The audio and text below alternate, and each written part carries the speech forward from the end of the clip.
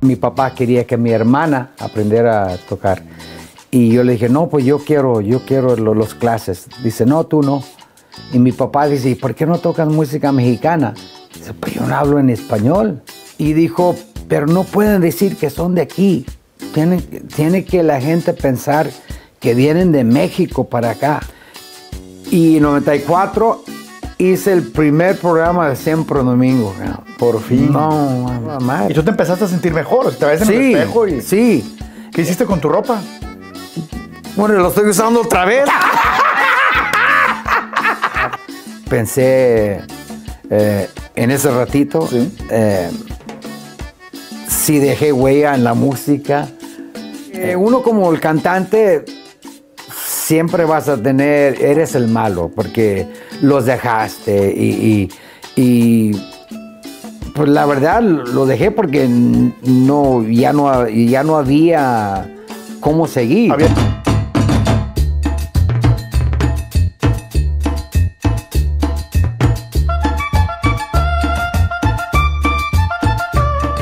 ¿Qué tal amigos de Cheleando con las Estrellas? Bueno, pues de nueva cuenta y llegando el frío, independientemente de quizá en el momento en que usted está viendo, si es en su casa, en fin de semana, en la mañana, en la tarde, en la noche, acompañado de una chelita, este, en cualquier época del año, aquí donde estamos grabando en este momento, pues está haciendo un poquito de, de fresco, se podrán dar cuenta, pero ya estoy aquí con uno de los invitados que he estado persiguiendo porque el público, pues me ha preguntado, mucho público de pronto me pregunta por artistas y yo los ando tratando de cazar, de buscar y se nos había escondido un poco porque ahorita vamos a hablar precisamente con alguien que vivió en esta misma zona acá en Texas y luego pues eh, terminó queriéndose regresar o irse ahí, ahí con todos los eh, buenos amigos del norte, la gente del norte de la República Mexicana, pero le doy la bienvenida y me da mucho gusto que estén cheleando con las estrellas aquí con su servidor Arturo Buenrostro, pues mi tocayo, Arturo Rodríguez, ¿cómo estás, canal? Bien, aquí andamos, aquí aquí andamos. cheleando con las estrellas. ¿Qué dicen los guardianes del amor? Pues ahí andamos ya en esta nueva etapa, Guardianes del Amor de Arturo Rodríguez, que ya sabes que, que me, me salí hace en 2015 y pues ya hice pues, mis Guardianes eh, y nomás estaban mis Guardianes, nada más, Guardianes del Amor de Arturo Rodríguez, Oscar, el baterista, estaba conmigo y los otros pararon, eh, de repente Oscar salió y hicieron otros guardianes, pero yo no, yo no he dejado de trabajar como guardianes del amor y muy contentos ya en mi etapa, en esta nueva etapa, en el, 2000 el 2015 grabé la, la canción de música romántica donde junté a todos los cantantes de, de los 90, no sé si lo Sí, sí, llegaste claro. a escuchar. Sí. Eh, y de ahí estoy grabando, pues, pues solo estoy haciendo varios, va- varios proyectos. Pues ahorita vamos a platicar precisamente de eh, lo que nos estás diciendo. Hay, hay este, alguna separación, si todo fue amistoso o no. Este, y si no, el público, varios de los que están sentados ahí donde estás, nos han platicado historias de algunas, obviamente, injustas, otras justamente. Me ha tocado siempre tener las dos caras de la moneda, este, como siempre. Pero eh, además también vamos a hablar de la cuestión de cómo ha sido la niñez, cómo inició, cómo se creó en esto de la música el buen Arturo, por lo que ha pasado, problemas de salud o no problemas de salud, todo esto y mucho más, quédense, porque hoy quiero que conozcan, eh, no al artista, no al que ven en el escenario, que por cierto se viene a presentar, es, no un día, dos, sino tres días este fin de semana acá en el Metroplex, acá en eh, Texas, en el norte de Texas, en la ciudad de Dallas y Fort Worth. Y bueno, pues vamos a desearle mucha suerte, pero vamos a conocer precisamente a quien vemos ahí en el escenario, como cualquiera de nosotros que algún día pensamos, soñamos en estar quizá en algún medio de comunicación, quizá cantando, quizá alguien, muchos de los artistas que a veces se han sentado ahí nos dicen, yo ni artista pensaba ser, y hay otros que lo soñaban desde chico. ¿Cómo es tu caso? ¿Cómo fue tu niñez primeramente? Tú naciste en California, me dices, ¿verdad? Así es, nacido y criado en un lugar eh, cerca de Los Ángeles, a 20 minutos al norte de Los Ángeles, se llama Pacoima. Ok. Ese lugar es famoso porque ahí nació Richie Valens, el de La Bamba. Y de hecho, cosa curiosa, que yo fui a la escuela con los sobrinos de él Wow. y vivimos ahí en la misma cuadra y toda la gente pensábamos, pensaban que éramos la misma familia, porque eran güerillos, gordillos también, toda- mi familia y la familia de él.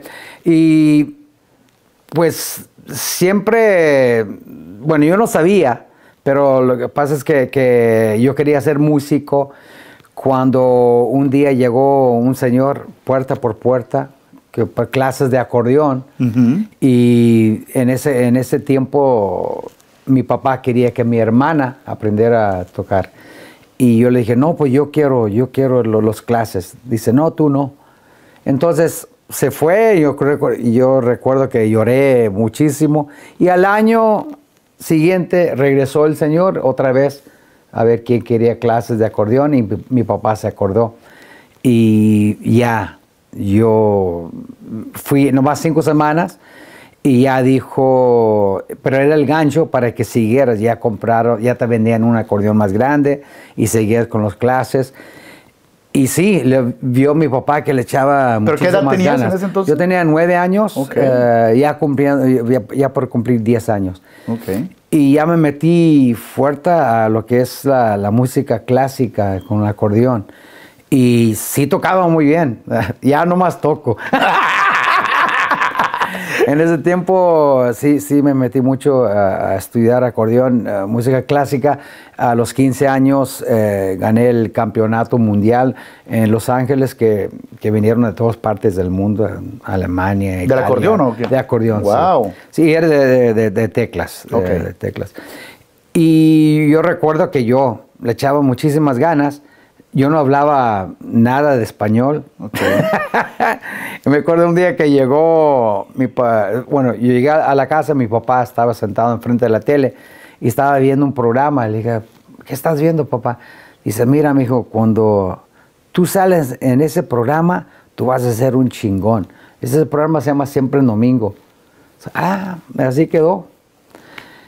Entonces ya a los 15 años gané el campeonato, a los 16 años me descualificaron porque cambié de, escuela eh, como tres meses antes del concurso y, tenías que haber cambiado seis meses antes. No sé, me, sacaron. Y me enojé, entonces me salí de eso. Y mi papá dice, ¿y por qué no tocas música mexicana? Dice, pues yo no hablo en español. Dice, sí, pero son tus raíces y no sé qué, y aparte del acordeón. Y...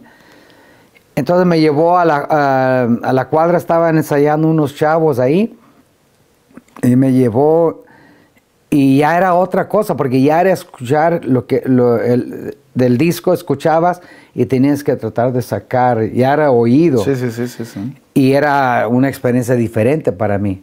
Y me llamó la atención y me metí a ese grupo tocábamos feo.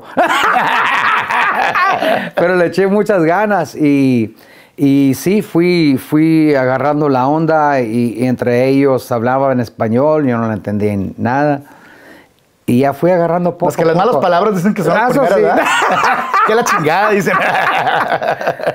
Sí, y, y, ahí fui y cuando me metí a la música mexicana y dije, pues pues, ¿qué es mi meta? ¿No? Mi meta es llegar donde me dijo mi papá, ¿verdad? claro. Grupo tras grupo tras grupo y no, no pasaba nada.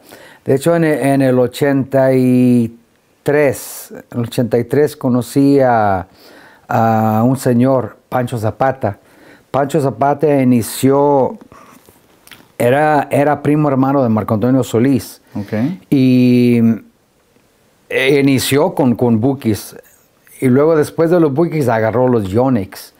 Eh, y cuando agarró los Yonex ya les dio la canción de Javier Santos, creo, la de Palabras Tristes, varias, varias canciones. Entonces tuvo éxito con los Yonex. Pero nadie aguantaba su idea que tenía. Dice, yo, creo, yo, cre yo quiero crear los Beatles mexicanos que, quiero, que, meten un éxito y, no salir. Otro éxito y no salir hasta que ya, que ya no aguante la gente, ya, ya quieren el grupo. Y Marco no lo aguantó. Dice, no, yo tengo que trabajar cuando hicieron los alambrados y todo eso. No, yo tengo que jalar, Pancho. No, aguanten, aguanten. Nada lo aguantó. Ni los Yonex. Les dio éxito y, ya a, trabajar. No querían aguantar la idea de él. Eh, después agarró a un grupo local de, Los Ángeles, Los Diablos. Y también, bolas con la de, la de a cambio de qué. Ellos fueron los primeros que lo grabaron, exitazo. Y también lo mandaron a la... Y luego agarró, yo no cantaba, yo, yo tocaba teclados nada más. Y, pero cantaba una o dos canciones para ayudar al, cantante. Y dijo, estábamos de gira con los Diablos, con mi grupo local, que, donde yo andaba. Dice, mira, vamos a, estar el fin de semana y tú, eh, los voy a escuchar. Ya nos escuchó y el fin, terminando el fin de semana, le dije, Pancho, ¿qué, qué onda? Dice, pues mira, este, te voy a decir una cosa, tienes que ponerte a dieta eh, y voy a regresar en, seis meses. Eh, agarra tres chavos, tú vas a cantar y agarra tres chavos más. Pero ¿cómo que voy a cantar yo? Sí, sí, tú vas a ser el cantante del grupo. Y ya regresó, había bajado un chingo de peso para, echarle ganas. Y, ¿Cómo cuántas libras? Eh, yo, yo pesaba en ese tiempo, no sé, 350 libras. Wow. Y bajé un chingo. Y nos llamábamos Los Cristos con K. Ok. Y también eh, grabamos un cover de, creo que lo de los cadetes, mi amigo se llama. Eh, ¿Cómo quieres tú, mi amigo? Pero lo grabamos en balada. Ok. Un exitazo en Los Ángeles. Y dijo, pero no pueden decir que son de aquí. Tiene, tiene que la gente pensar que vienen de México para acá. Porque funcione. Sí, bueno. tenía esa idea. Y pues se regresó a México y luego tuvo problemas con los diablos que lo estaban demandando, no sé qué. Y ya como nos olvidó y se quedó el proyecto ahí nomás. Entonces yo seguía, seguía, seguía y no pasaba nada. Pero yo trabajaba en el día, yo tenía mi, yo tenía mi trabajo en el día. Sí. Yo hacía baterías eh, en, una compañía se llama Remo, que hacen ah, todos los parches para, todas las baterías de todas las compañías. Pero en ese tiempo estaban haciendo baterías. Y a mí me tocó hacer ah, los, los juegos este, especiales que patrocinaba ellos. Eh, hacía yo el de Terry Bossio, bateristas famosos, uh, Charlie Alberti Soda Stereo, este, Alex de, Maná, hacía todas las baterías de, ellos. Y yo trabajaba ahí y los fines de semana tocando. Y había grabado un disco, eh, un proyecto que habíamos hecho que se quedó guardado en un estudio de grabación. Y no sé cómo, el que iba a pagar la grabación no lo pagó y el del estudio no, le quería soltar la cinta, pleitos entre ellos. Entonces, en ese tiempo, Aníbal Pastor, él estaba grabando en un estudio, produciendo a no sé quién, Aníbal Pastor, compositor, productor. Entonces fue al estudio donde, yo había grabado, eh, pero yo no sabía, yo no conocía a él ni nada. El del estudio dijo, mira, para que si quieres hacer algunos ah, proyectos aquí en mi estudio, y dijo, pues deja ver qué has hecho aquí. Entonces puso lo que yo había grabado ahí. Y en ese tiempo había grabado dos covers de, Argentina. Y como es de argentino, le llamó mucho la atención. Dice, ¿y quién, quién es el que canta? Dice, no, olvídate, escucha el sonido, olvídate, es un gordo. Pero porque ya había subido de peso otra vez. el está rico. Entonces, se, dio conmigo, agarró mi teléfono y me empezó a llamar de México Aníbal. Y le dije, pues, ¿quién es este? Yo no lo conocía. Y dice, estoy produciendo un grupo y, escuché tu voz en el estudio de grabación, pero no te conozco y nomás me dices que está, me, dice que estás gordo, no sé qué. Bueno, pues yo estoy acá en Los Ángeles. Bueno, yo voy a estar en Los Ángeles eh, el mes que viene. Estoy produciendo a Carlos Cuevas, que en ese tiempo y quiero ir a escucharte en vivo. Entonces fue con el arreglista, estábamos tocando en un restaurante y eh, me tocó cantar mi canción de la noche, la de una de Gloria Estefan, de ah, si voy a perder, si voy a perder. Ok. Ah, entonces empecé, por última vez. Ya terminé el turno, le- llegó, dice, no, no, te tengo que llevar para México.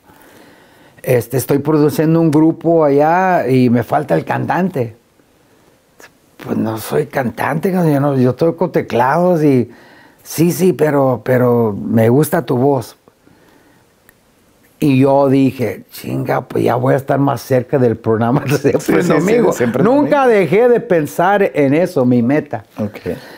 Eh, me llevó, escogimos los temas, regresé a trabajar a Los Ángeles y ya cuando estaba listo el grupo para grabar, me regresé y ya grabamos. eh, y no pasó nada, no pasó nada. Grabamos otro disco, pero ya fui a vivir. Yo fui a vivir a, a la casa de Aníbal y estábamos trabajando, cantando rock en inglés y en español en la zona rosa de México.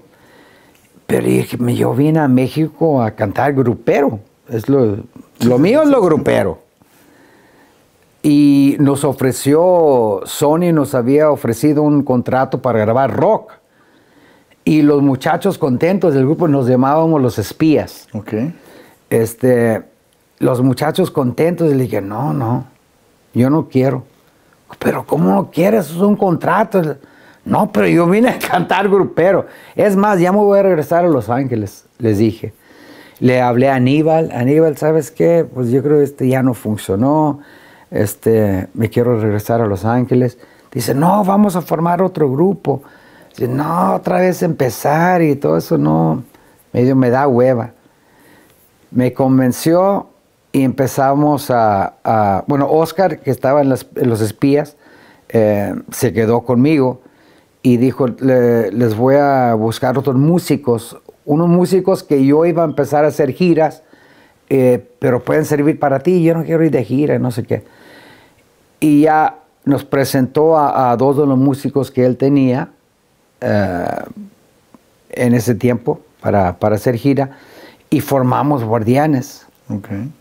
Eh, iniciamos, bueno, en ese año Bronco había grabado cuatro temas de Aníbal en un disco. Y Aníbal ya estaba en las últimas también, ya se quería regresar a, los, a- a Argentina, pero le fue bien con lo de Bronco. Entonces, Bronco le grabó cuatro canciones, pero había mandado como 30 canciones. Entonces, todo lo que, lo que no grabó Bronco, iniciamos nosotros. Cuatro palabras, Amo escribo con llanto, Los Ángeles llueven, todo eso es para Un. Bronco. Y Bronco grabó la de Arráncame la vida, No tengo más que esta canción, y dos más, no me acuerdo cuáles. Entonces, grabamos y tuvimos la suerte de que eh, esta- había, tres compañías interesados, firmamos con, con BMG y, y le echaron ganas y, y empezamos a, a sonar en radio. El primer sencillo fue Déjame secar tus lágrimas, que acá en Estados Unidos sonó desde que salió. Mi mamá decía, la canción está sonando acá todo el día en Los Ángeles. Y en México nada. Dije, ¿será cierto? Y sí, llegó a primer lugar en Los Ángeles, eh, en Chicago y, y todo eso. Y todo pasó así. Y luego ya el segundo sencillo fue cuatro palabras y ya empezábamos a escuchar nuestra música. Ah, mira, estamos sonando. Y acá en Estados Unidos siguió el, el éxito. Y ya el tercer sencillo fue la de Amor escribe con llanto. Y esa en México reventó. Sí, sí. Entonces ese, fue el, el primer éxito. Estamos hablando del 90 y... 93. ¿o? no, bueno, s- eh, grabamos en el 93, salió el primer sencillo en el 93, el segundo sencillo, eh, eso fue el julio del 93, Déjeme sacar tus lágrimas, cuatro palabras salió en octubre, y entrando en el 94 eh, cortaron la de Amor escribe con llanto. Ok. Y ya Oscar Flores ya había visto, ah, pues, están sonando, y ya nos metió de gira, a toda la gira de Bronco. Deja acaparo. Deja acaparo, porque así era. Saludo para el buen Oscar.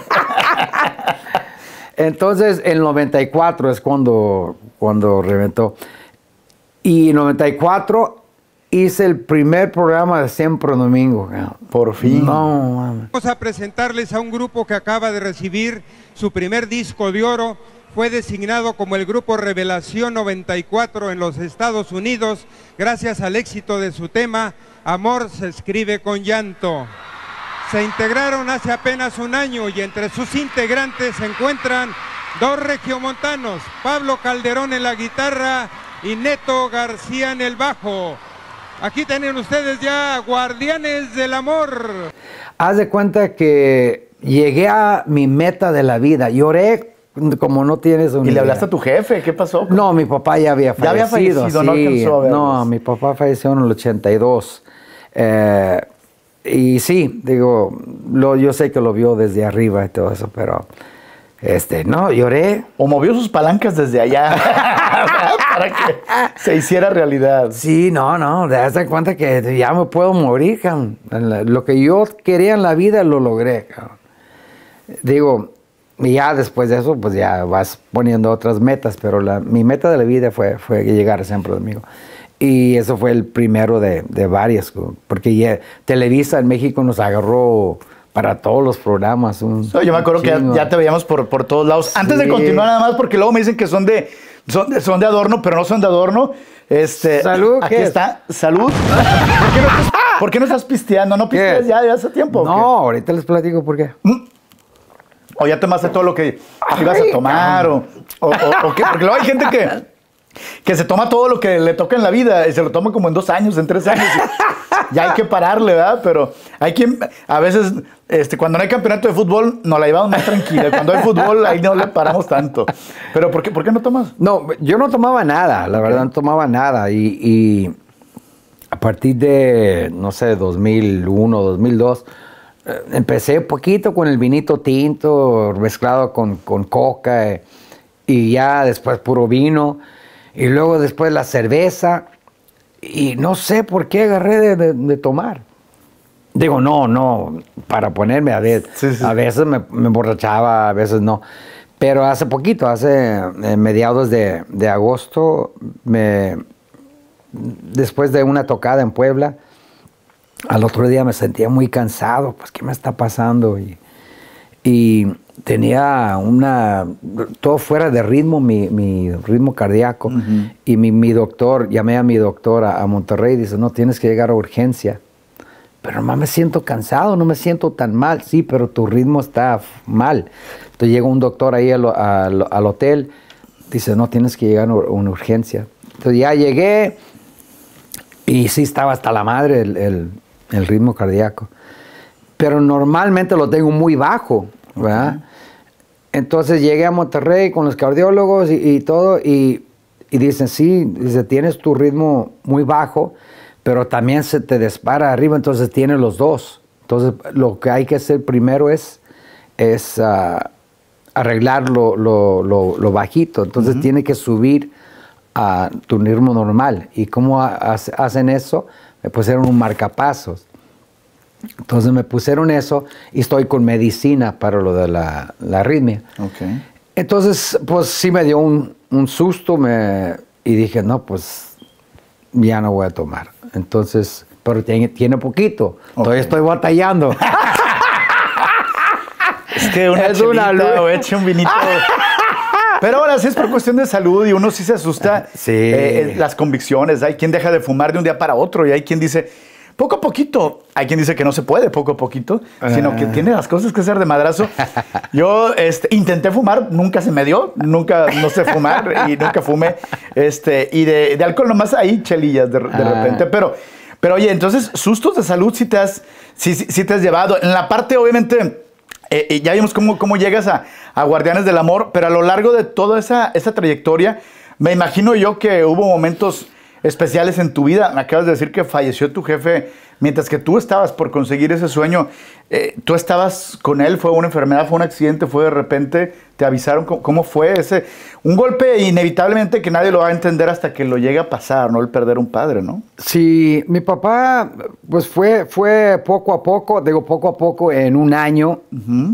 Eh, uno de esos fue hepa- hep- hepatitis. Mi mamá y mi papá, los dos tenían diabetes. Entonces mi papá era todos los días ins- insulina, mi mamá dos veces al día insulina. Y en ese tiempo no eran desechables las los, los agujas. Sí, sí, sí. Entonces dicen que una aguja sucia, no sé qué. Entonces le dio hepatitis. Entonces, eh, pero fue una, una muerte, yo, yo digo que tranquilo, porque se fue durmiendo más y más y más y más hasta que ya no despertó. O sea, tuviste chance de disfrutar a tu papá. Sí, sí. Bien, sí. de despedirte, se puede decir. Sí, también mi mamá, mi mamá falleció ahorita en el 2006, creo que fue el 2006. 2007, el primero de enero. Ok. 2007. Y también ella, ella muchas veces eh, um, operaciones de, de- de corazón y todo eso, hasta que como cuatro o cinco open heart surgery y todo eso. Y ya la última vez dijo, no, ya no quiero. ya no quiero". Y, y tuvo la oportunidad de despedirse de todos bien. Todos iban, pues, ¿qué le vamos a decir a, a- a Doña Rosa y no sé qué? Y salían, mi mamá le decía muchas cosas, ¿verdad? Entonces mi mamá tuvo la oportunidad de despedirse bien de, de o sea, todos tomaba también. muy, muy este, pues adultamente bien. O sea, tu mamá. la sí, ella sabía, sí. estaba consciente de. Sí, de hecho no quería morir en el hospital, se fue a, quiero ir a la casa de, de mi hermana y, y- y todos fueron a, a visitarla ahí. Wow. Sí, y yo, eh, fue una, una Navidad que, que, se, que ya se puso mal y, y ya eh, llegué ahí en Navidad del 2006 y ya en el, el 30 me tuve que ir de gira y el 31 trabajamos en Cozumel y esa noche me acuerdo que todos los muchachos le hablamos a mi mamá que feliz año y todo eso. Y al otro día temprano nosotros tenemos un vuelo y cuando llegamos a la Ciudad de México ya me dijo mi esposa que ya había fallecido mi mamá. Wow. Entonces como estaba en Sacramento, eh, mi mamá estaba en San Fernando, entonces tardaron para llevar el cuerpo de, de mi mamá, no sé, pues como 12 días. Yo no sé cómo, cómo hacen eso de... Se tardan tanto en, en, eh, los cuerpos sin, sin enterrar. Y ya enterramos a mi mamá, el, creo que el 14 de, de enero. Y es cuando vine, a- 14 de febrero, y luego ya estaba viendo yo las casas acá en, en, en Texas, y ya vine a, a firmar al otro día. Enterramos a mi mamá y el otro día vinimos a firmar la, la casa y ya me vine a vivir a, a Dallas. Acá, a, a Dallas. Sí, sí. Es, fíjense, es que para la gente que nos está viendo en México, hay una situación muy rara que yo hasta la fecha, ya tengo como 16, 17 años de estar acá, no logro entender y comprender. Y este, algún día voy a invitar a alguien, un doctor o alguien que nos explique por qué sucede. Cuando aquí alguien fallece, el cuerpo prácticamente es una costumbre que te lo entregan como hasta una semana, 6, 7 días. Sí. Allá en México, el mismo día quizá te lo pueden Sí. entregar eh, y al día siguiente es este, porque algunos dicen es que es mejor, porque mira, ya no está aquí. Ajá. Es un, un- es una doble sufrimiento porque Sí. apenas estás pasando, empezando a entender, a, como dicen, a, a- a caerle el 20 a uno de que ya no está alguien con nosotros. Y todavía es el sepelio a la semana. Es muy pesado aquí en, en Estados Unidos, al igual que los costos, no se diga, ¿verdad? Los, los costos este, muy, muy, muy, muy caros. Igual también en, en México, pero esa situación a veces es, es difícil este, acá, en, acá en Estados Unidos. Obviamente una, una pérdida es igual de sufrimiento en cualquier parte del mundo, pero aquí yo pienso que al ser muy largos los periodos de entrega del cuerpo, este, pues hacen un poquito más el, el, el sufrimiento y te tocó entonces con tu papá y con, y con tu mamá. Sí, así es. Wow. Así es. Oye, y de- decías, eh, una de las, yo me acuerdo cuando yo empecé en la radio, ya también en, el- en lo grupero, empecé yo en el 93, justamente, casi a la par de Ah, Guardianes del Amor. mira. Este, pero yo me acuerdo que era, aparte que te identificaba, la risa, que donde sea que Sí. escuchabas, sabíamos que era el Arturillo, que era el Tocayo. Este, las canciones tenían un, un- a pesar de que eran muchos, había muchos grupos en ese momento de la onda grupera, Bronco, Brindis, Liberación, todo, Sí, todo. Mandingo, todo, Mandingo, todo. todos. Este, tenía un sonido que identificaba y la voz indiscutiblemente eh, eh, que caracterizaba mucho a Guardianes del Amor. Y, pero muchos decían, bueno, es que es este Arturo. Sí, el, gordito, ah, pues ya lo identificábamos. Digo, yo no sé, hoy en día han cambiado las cosas de tal manera que el ya a lo mejor decir el gordito es como si fuera bullying también para, para ciertas personas, ¿no? Hay algunos que no se agüitan. En tu caso, por ejemplo, ya no hablemos de la época de artista, pero en tu infancia, eh, ¿siempre fuiste gordito? ¿Siempre, eh, eh, ¿Siempre batallaste con tu peso o hasta qué edad empezaste a engordar? No, siempre, siempre. Desde que nací, nací de 12 libras. Y wow, no, ya con eso. Pero fíjate que en ese tiempo en la escuela eh, de niño, yo era el gordo de la escuela, ¿verdad? Eh, ahorita hay muchos gorditos, no sé. Eh, no sé en qué, en qué momento cambió todo, pero. Y yo era el que siempre burlaba en el gordito, no sé qué. ¿Sí te agüitabas y llegabas a sentir que no querías ir a la pues escuela? fíjate que. No, no, no, no, no, Nunca. De hecho, yo también bromeaba conmigo mismo. Este pero no, nunca, nunca me sentí. Uh, claro, a lo mejor me agüitaba, pero lo grababa como broma. Entonces, este. No. Eh, y, a lo mejor esto de lo de la música también es como, no sé, mostrar que los gorditos también podemos. No sé, no sé. Pero no, no me agüitaba. A, la respuesta no me agüitaba. Hoy en día muchos flacos ahí que andan muy carita y todo, pero no cantan. Este, hoy, hoy con el Pro Tools cualquiera canta. Es la, es la verdad. Este, el rollo es realmente hacer cosas que a la gente le, le guste. Y la tenía más difíciles, porque déjenme decirles que antes era necesario que tú estuvieras en una disquera, que agarraras una, una, una, eh, una empresa de representaciones que pudiera vender tus fechas y demás. Hoy en día, gracias, de verdad, así como tiene su lado malo, también tiene más lado bueno si se ah, utiliza bien las redes sociales, el YouTube. Hoy cualquiera que tenga talento puede exhibirlo y en una de esas por ahí se hace viral y empieza a funcionar.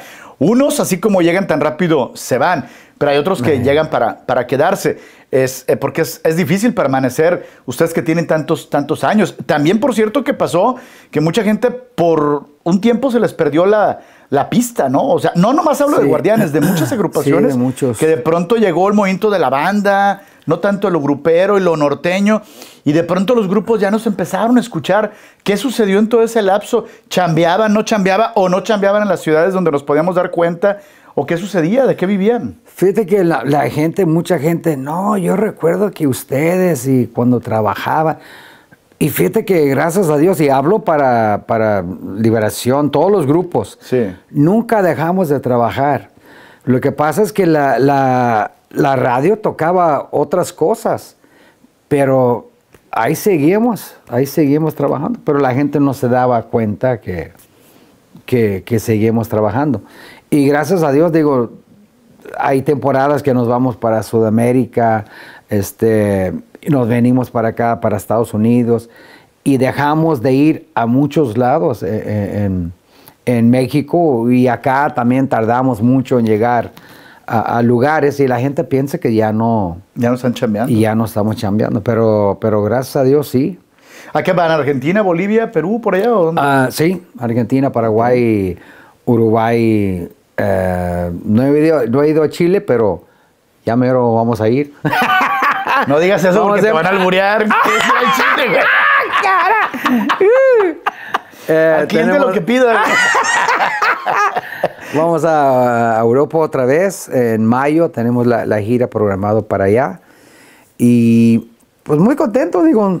Estoy, estoy, estoy chambeando y sigo grabando cosas para para, para, ver si de repente entra y, dar la vuelta y, que la gente me vea otra vez. Yo siempre digo, unas voces tan eh, originales, tan buenas, eh, comprobadamente exitosas y que le gusta a la gente, no pueden quedarse ahí con los éxitos que han grabado y que ahí se quedaron. Sí, siguen trabajando de ellos y de esos éxitos, pero yo sí digo, hay muchos chavos incluso que no vivieron su época de ustedes, pero que les gusta su música. O sea, yo tengo sobrinos que nunca escucharon o nunca les tocó en la radio estar escuchando en su mejor momento de ustedes, por ejemplo, pero se saben las canciones, ¿no? El amor se escribe con llante, el, perro, el gato y yo.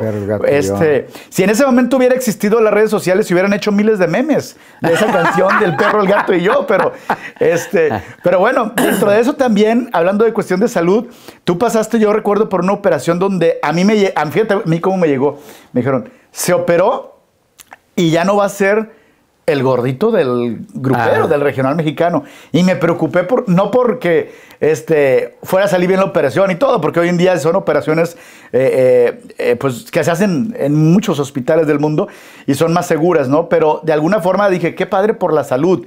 Pero me preocupé porque dije, oye, a una persona que canta su digamos, su tórax, la voz que tiene, etcétera, no irá a cambiar, no irá a ser diferente y ahora que te escuchen, ah, cabrón, me lo cambiaron, no nomás le, le, lo operaron. Este, ¿Fue difícil la decisión primeramente para operarte? Sí, fue, fue difícil. Este, dije, pues tengo que ver ¿Quién te mi salud. Eh, yo mismo, sí, mi esposa no quería que me, que me operara, y, pero yo tomé la decisión. Y fíjate que, hablas de eso, de, la voz, que no te va a cambiar. Oscar Flores fue a hablar con el doctor y dijo, ¿qué onda? Lo vas a operar, pero ¿qué va a pasar aquí con su garganta? Y, la y el doctor le dijo, mira, lo voy a operar el estómago y no lo voy a operar la garganta. y sí, eh, yo sentí que estaba cantando mejor, porque podía respirar mejor. Eh, toda, todo, todo era para mejor, para mí, que yo me sentía mejor arriba del escenario, al, cantar. La gente al verme dice, no, este güey está enfermo. Eh, te ven diferente y ya, ya, no se ríe igual. Eh, y, y, lo puedo entender, porque yo también veo a alguien que baja mucho de peso y ahora ese güey está enfermo. Pero no, realmente uno está toda mal. Y tú te empezaste a sentir mejor, o sea, te ves en el espejo y... Sí, ¿Qué hiciste con tu ropa? Bueno, lo estoy usando otra vez. no, fíjate que eso fue en el, 98. Y, bajé 200 libras en, un año. Y 20 años para acá, eh, subí 100 libras, la, mitad. Entonces me volví a hacer el bypass gástrico en el 2017, cuando llegué a Monterrey. Y otra vez perdí y ahorita ya llevo, no sé, ah, de 100, llevo como 40 libras arriba después de que me hice esta segunda operación. Entonces es una lucha de, todos los días. Te operan para, que bajes de peso, pero la mente sigue pensando como gordo. Entonces es muy importante eh, que yo nunca agarré ayuda mentalmente para para ayudarte con tu nueva vida, ¿verdad? Entonces, pues como gordo siempre buscas la manera de comer poquito más. No, es que la comida es riquísima. Yo batallamos también. Este, nunca he llegado, sí he llegado a, a, pesar lo más 250 y tantas libras y bajé a 170, pero realmente, yo ahorita estoy como unas 20 arriba, pero... ¿250 libras? Sí, llegué, a empezar, sí. Y, oye, y con puro ejercicio, ¿no? La verdad, yo sí le tengo miedo a las operaciones. Este, con puro ejercicio, prefiero hacer ejercicio que dejar de comer.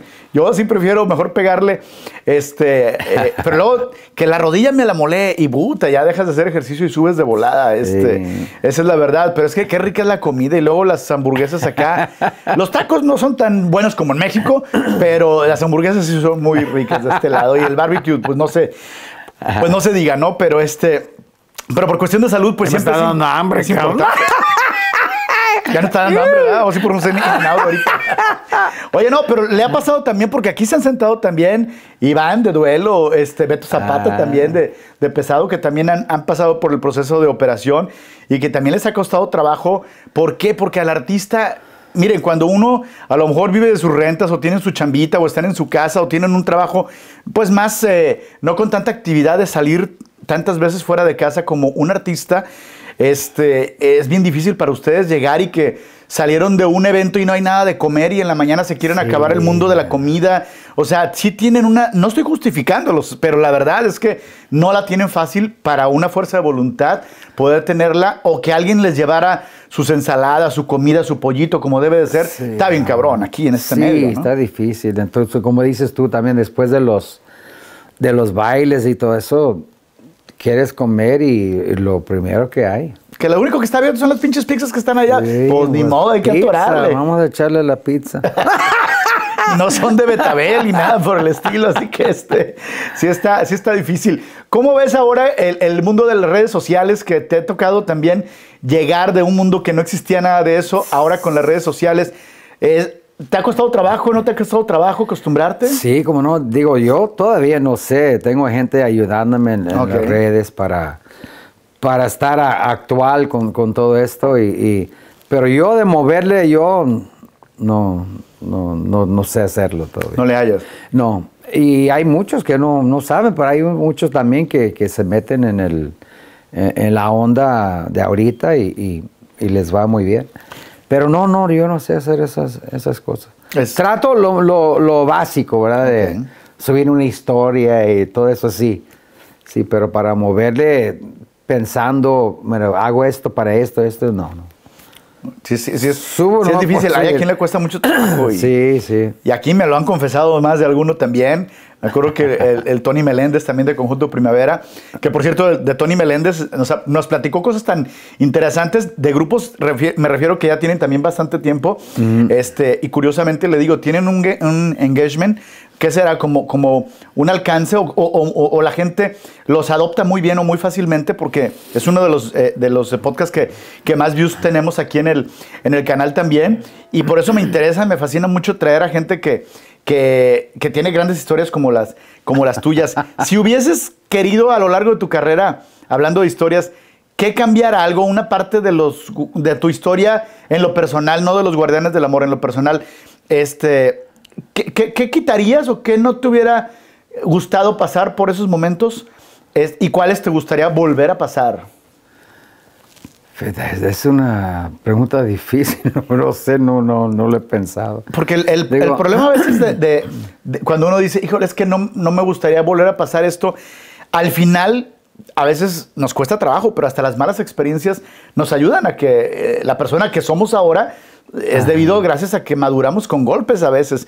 Golpes fuertes te ha llevado la vida también, me imagino yo, ¿no? Sí, digo, pues yo dejé todo, digo, para, para irme a México, probar mi suerte, dejé mi, mi trabajo y todo, a ver, a ver, a ver qué iba a pasar.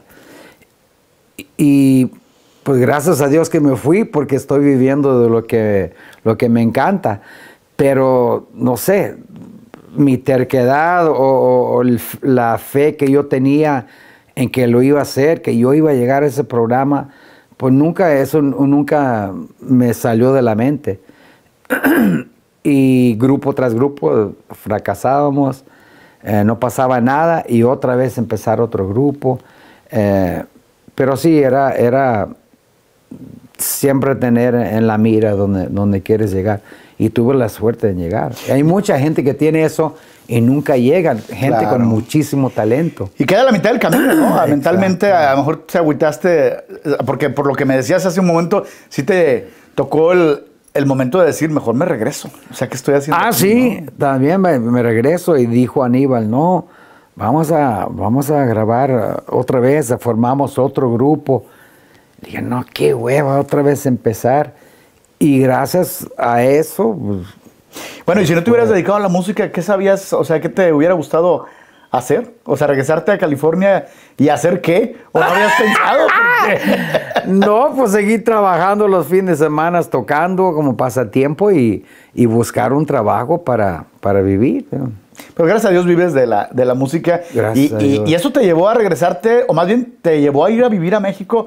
Porque yo hasta perdí la pista, yo pensé que seguías acá en Dallas y, ah, no. y dices que ya tienes como 5 o 6 años que te fuiste allá para el sí, norte de ahí México. Estoy, ¿no? Ahí estoy en Monterrey, uh, muy a gusto.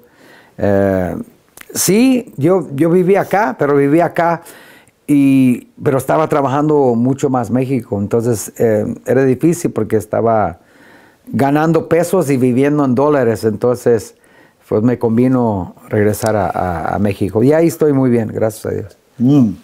Es que, digo, ahorita el, dólar está en el 2023, este mes de eh, octubre, no sé después, ojalá, este, cómo esté la situación, ojalá mucho mejor para todos los mexicanos también, pero de pronto, eh, si llega el momento en que estar, estar ganando allá pesos y vivir aquí no da, no, no, da el ritmo. O sea, los doctores, la medicina, la comida, allá vas, te chingas unos tacos. Este, y aquí es de dos dólares, tres dólares por tacos y bien te va. Está, La vida es muy más cara este, y todavía ha sido más cara en este año acá en Estados Unidos. ¿eh? Sí, ¿verdad? Digo, uh, fíjate que ahorita en esta avenida para acá, pues cuando vivía acá veía los estacionamientos de los, negocios y todo, y ahora los veo vacíos, veo las tiendas, muchas cosas vacías. No sé, no sé, me dio medio tristeza ahorita en esta venida para acá, que no veía hace un año atrás. Entonces no sé qué está pasando acá. Sí, Tengo que, hablar con mi compadre Biden. hay, que hablar. Ay, pues mira, son muchas cosas. También la, la venta en línea ha, causado que haya mucha cierre de tiendas físicas. o sea, esa es, la, esa es la verdad. Aunque sí, la gente también este, se la piensa más para andar, o no la pensamos para andar gastando, sobre todo entre semana. Espérate el fin de semana y, a lo mejor vas a ver un poquito más, más llena. Luego, por ejemplo, este fin de semana simplemente hubo dos partidos de, de, béisbol, de ah, mundial, de, la serie mundial, llenos, este, y otros eventos en donde estuvieron llenos y dices, o sea, la gente sí, sí gasta, pero ya no es como antes. O sea, antes un boleto, el caro era de 100 dólares, 150 dólares. Hoy en día estamos hablando de que un boleto aquí, 1.500, 2.000 dólares para un evento de artistas donde eh, la demanda es muy fuerte. Afortunado o desafortunadamente, ¿verdad? ¿Qué hubiese querido? Imagínate, si a los Guardianes del Amor les hubiera tocado esa época en su mejor momento, ya seguramente a lo mejor ya vivirías de tus rentas, ¿verdad? Pero bueno, es como el futbolista también. Sí, exacto, sí. A Hugo Sánchez no le tocó este no. Eh, no, le tocó ganar lo que hoy ganan los jugadores de fútbol. Sí, exacto. Entonces eh, hay que adaptarse a la, a, la, a la, época. Pero vives a gusto en México, allá en, Monterrey. Sí, vivo a gusto y, y, gracias a Dios cada fin de semana estamos tocando en algún lado. Em, estuvimos hace dos semanas, estuvimos por área de Atlanta, terminamos en Nueva York, cruzamos todo Estados Unidos y el fin de semana en California. Y luego este fin de semana pasada Denver y Utah, eh, Las Vegas.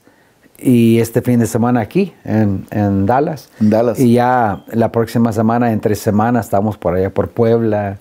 Y gracias a Dios, chambeando. Oye, ¿y en qué momento tienes la oportunidad de estar, o qué haces, por ejemplo, cuando de esas pocas semanas que no tienes chamba, sí disfrutas de estar en tu casa? Porque yo me acuerdo que aquí más de alguna vez me hablaste y me dijiste, vente a echar un barbecue, me preparo un barbecue bien sabroso, bien rico.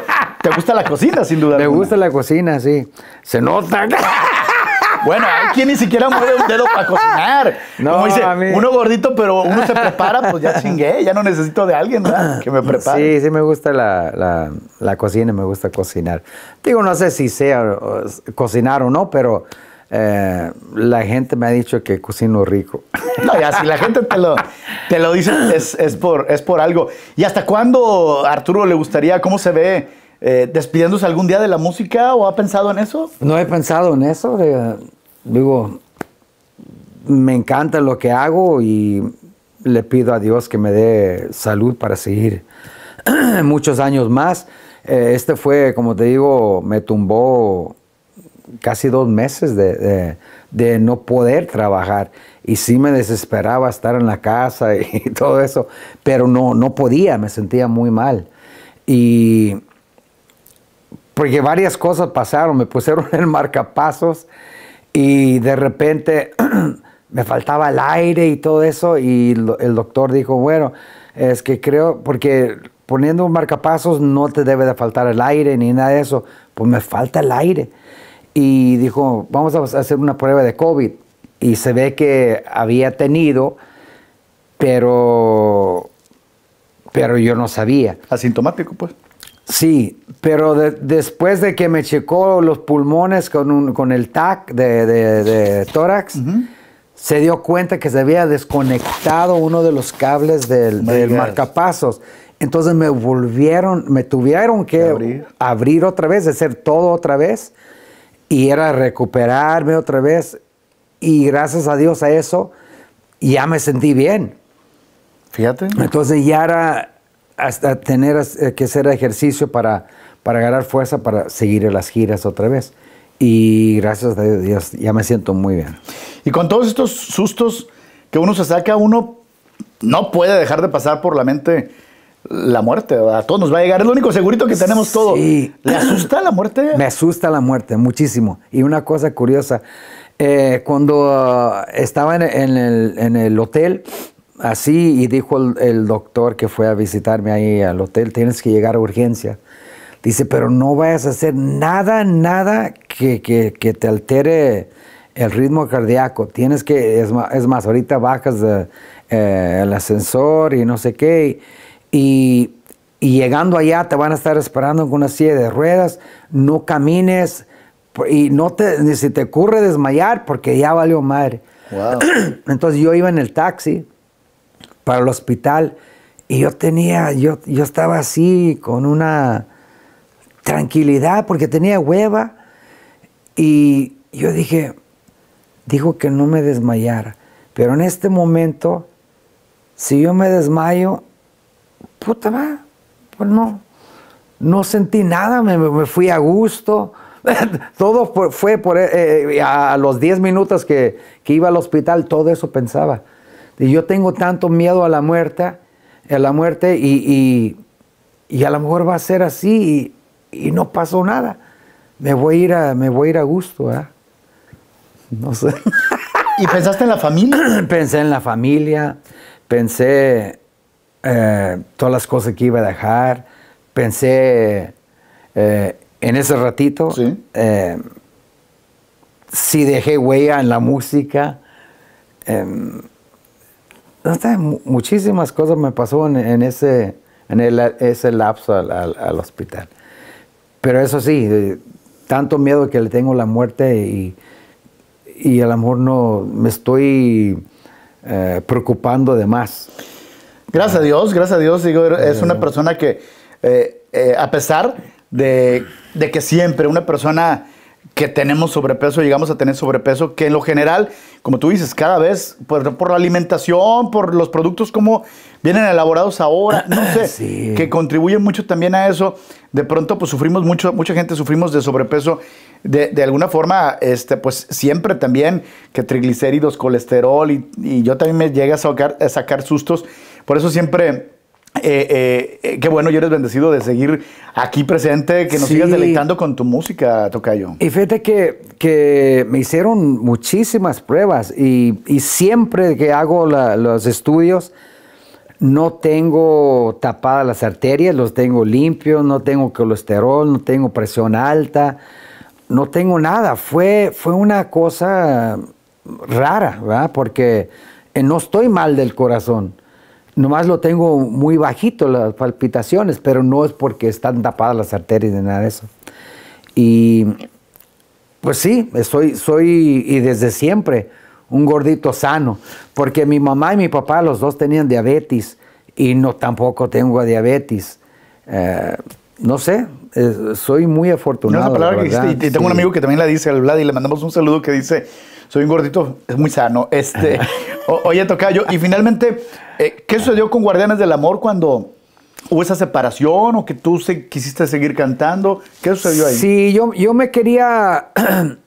Estuvimos juntos 22 años y, y ya... Que no es nada fácil, 22 no, nada años. fácil. Entonces, y ya cada quien tenía diferentes ideas y tratábamos de grabar, pero con cada quien pensando en sus ideas. Entonces, yo decidí, pues, ¿sabes qué? Ya me voy a, me voy a salir y me iba a poner el guardián nada más.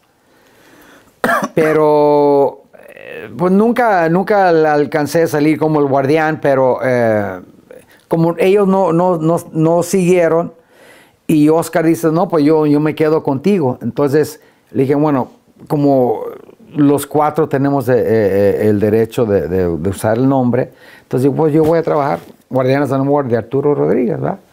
Y el baterista Oscar dijo, no, pues yo me voy contigo. Y así fue desde el 2015 que, que, que fui solo. Eh, los otros nos siguieron, hicieron su, eh, Neto se quedó produciendo y Pablo no, ya no trabajó o no sé qué. Y ya Oscar en el 2017 más o menos, Oscar salió e hizo Guardianes con, con Pablo, el guitarrista. Entonces ellos están trabajando con otro cantante y todo eso. Y yo seguí como Guardianes del Amor de Arturo Rodríguez. Entonces, la verdad, nunca dejé de trabajar como Guardianes del Amor.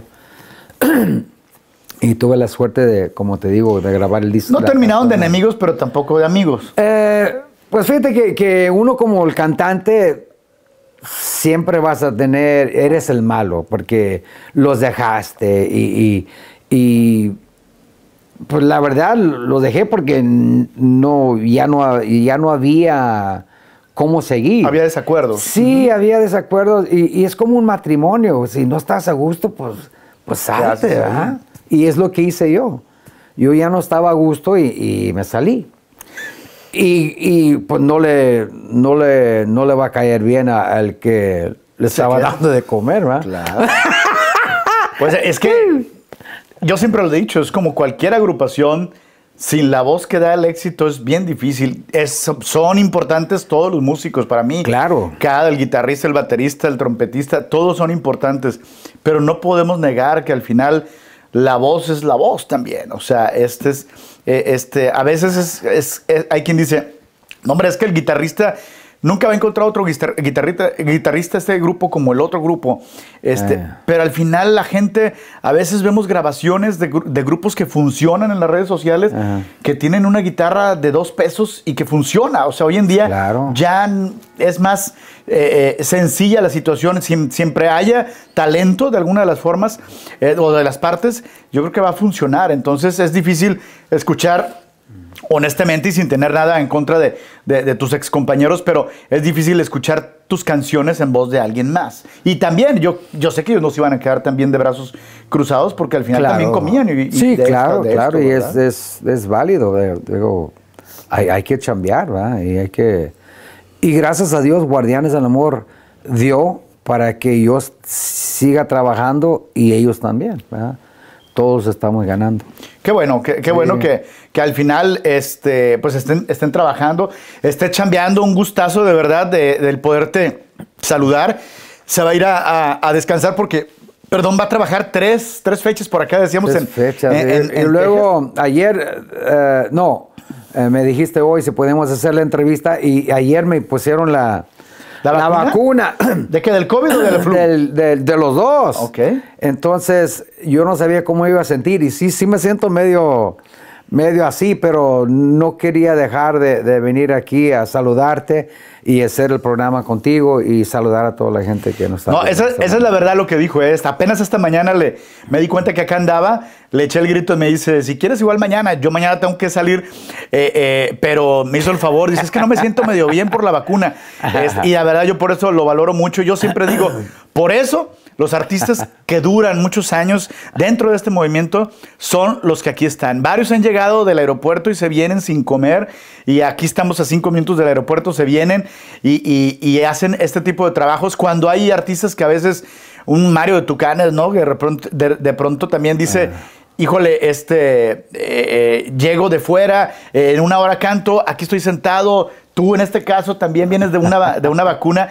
Yo siempre lo valoro, pero saben que al final no es por mí, sino porque el público se entere, el público sepa qué hay detrás de esos artistas y que cualquiera de ustedes que a lo mejor tengan un sueño, no nomás ser artista, ser cualquier cosa, la pueden cumplir porque así como Arturo un día a lo mejor ni pensó en, ser cantante, pero aquí está y nunca ibas a pensar que ibas a vivir de esto, ¿no? No, de hecho mi papá se fue eh, con, la ilusión que, fuera, que estuviera en un grupo exitoso, pero nunca por aquí, ni yo pensaba que iba a ser cantante de un grupo. Fíjate. Era el, acordeonista, pero no el, no el o, el tecladista, pero no el, cantante, la voz, fíjate. Sí.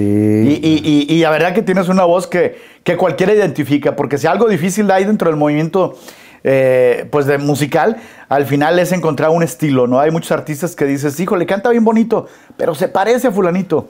Entonces encontrar los estilos es muy difícil y, de pronto eh, la voz tan característica tuya, es una voz muy especial que extrañamos. Esperemos, no sé si próximamente por ahí colaboraciones con, con algunos de estos chavos que a lo mejor están funcionando ahorita. Sería algo de. Sí, será algo buenísimo. Muy, buenísimo, ¿no? De pronto. Fíjate que, que yo durante la, la, pandemia saqué un sencillo que ya tenía grabado y yo estaba bien agüitado, la verdad, muy agüitado. Y durante ese tiempo que yo no estaba trabajando, agüitado en la casa, saqué el sencillo y recibo una llamada un día. Hey Arturo, soy Pancho Barraza y la chingada. Ah, ¿cómo estás, Pancho? Hey, sabes que yo no soy de estar escuchando cosas del, internet y canciones nuevas. y escuché el, tema que, que, sacaste ahorita. Me encantó, cabrón. Lo quiero grabar en banda, pero quiero que tú lo cantes conmigo. Ah, cabrón. No pues me levantaste el ánimo, yo estoy bien agüitado. dice, no, no, no, vamos a hacerlo. Y eh, de hecho ya, ya grabó su voz.